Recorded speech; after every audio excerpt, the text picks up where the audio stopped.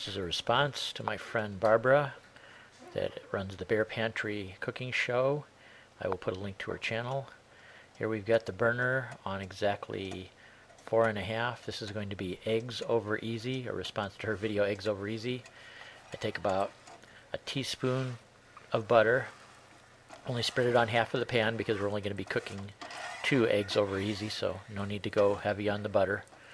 Teaspoon is plenty more than enough and make sure it's a heavyweight non-stick pan or a heavyweight cast iron pan. Don't use a lightweight.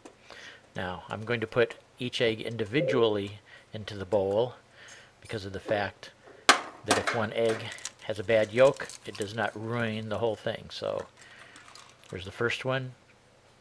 It's looking good. So we're going to take it, put it in the pan. Now if you break both eggs into the bowl, what happens is if one of them has a bad yolk, you've kind of ruined the whole thing and have to start over. So here's number two. Okay, checking this one out and see, it actually has a broken yolk. I did not do that on purpose, but doing it one-handed, you don't always get the uh, get the best of performance. But I have to hold the camera with one hand, so we're going to do it again. But I've done enough one-handed, I think we can get by here. So we'll dispose of this one. And we will do it again.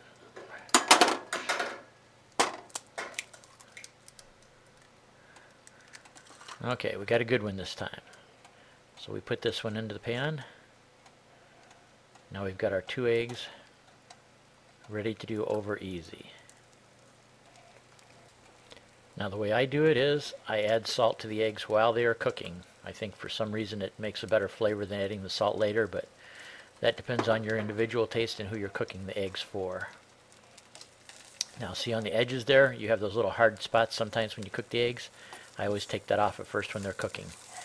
Just let that go off to the side to be disposed of later.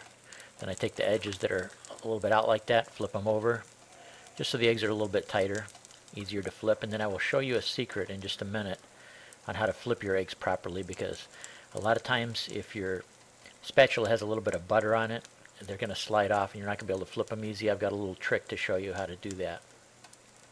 I'm going to let them cook for just a minute here. Then we're going to start dividing them in half. It's a little bit easier to flip them that way. I mean, if you put them a little bit closer together, you can flip them all at once. So here now they're cooked enough. I'm just going to divide them in half just enough that I can flip them.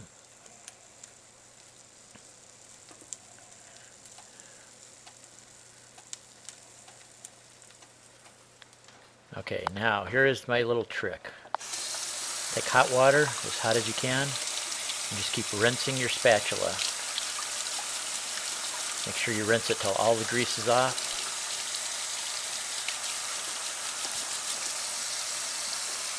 But then don't wipe it dry. Leave just a little bit of the water on the spatula, and I will show you why. It will stick, but it won't stick to where it's really sticky like glue, but it'll stick just enough so that you can flip them very easily. See a little bit of water on the spatula there? Now watch this. See? Sticks and grabs them just enough to flip them over easily.